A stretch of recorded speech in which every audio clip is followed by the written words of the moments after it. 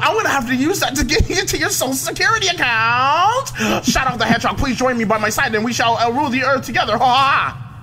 You can stand by me, Dr. Eggman, even though my body used to be a regular yeah, shape. well, no. You're fat.